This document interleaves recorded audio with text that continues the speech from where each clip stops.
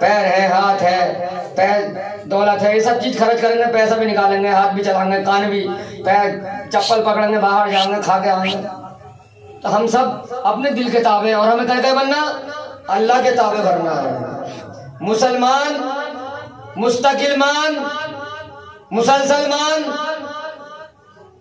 और जब तक जिएगा, जब तक मान। और ईमान की कोई हद नहीं है और इल्म की भी कोई हद नहीं है। ईमान की कोई हद नहीं और इल्म की भी कोई हद नहीं है। ईमान तुम तो इतना बढ़ाओ कि हवाएँ मोड़ो।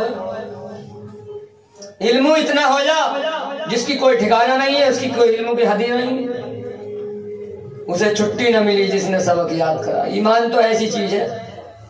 हम समझते हैं साहब, ईमान कोई ऐसी, बगैर कुर्बानी के, बगैर परेशानी के, बगैर जान माल वक्त लगाए हुए हमें ईमान आ जाओ कभी भी नहीं आ सकता। ये सारी कुर्बानी हमें देनी पड़ेगी।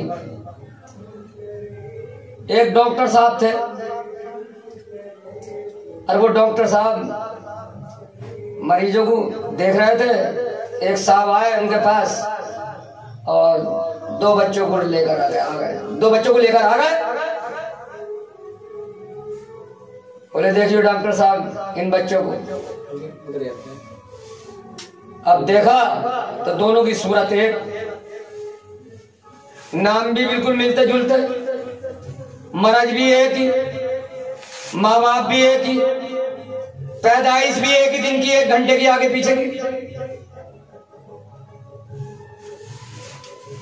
डॉक्टर साहब ने मालूम किया, आप कौन है कि मैं इनका वालिद हूँ? मैं इनका वालिद हूँ मैं। अच्छा तो बोले भाई, ये तो इनका इनके अंदर जो मरज है वो एक ही है दवा भी मैं एक ही दे दे रही अल्लाह को कम से कोशिश करता हूँ। दोनों को दवाई दे दी और दोनों जने लेकर चले गए उन्हें। जब दूसरा दिन निकला तो एक बेटा उनके उंगली पकड़े जा रहा है, दूसरे बेटे का जनाजा जा रहा है।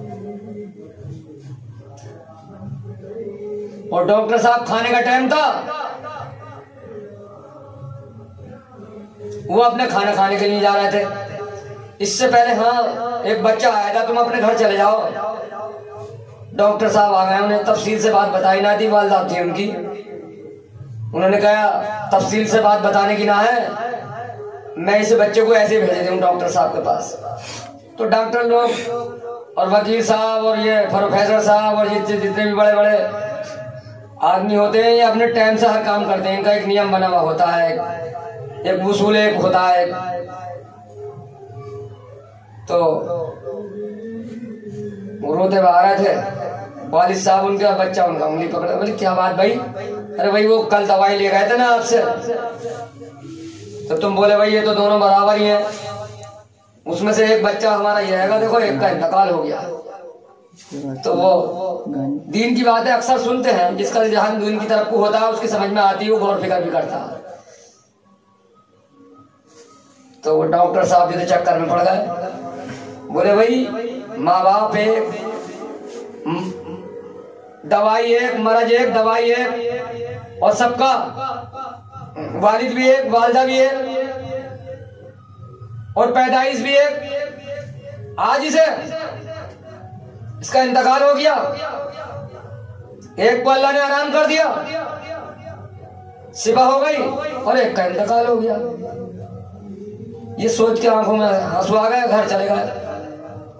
अब उनकी वालदा बैठी थी, मुंडा बिछाए हुए। जिनको वालदा को तो उनका भी एक बेटा ही था, वो समझे थी इनके घर में भी। पता ना चिराग जलेगा ना जलेगा। वो खुशी का इजहार कर रही थी। कहने लगी, अब आए जब दूसरा डॉक्टर आ गया तो। तो वालदा को उन्होंने अपनी मतलब इकराम की वजह से, गैरत की वजह से कोई जवाब ना दिया।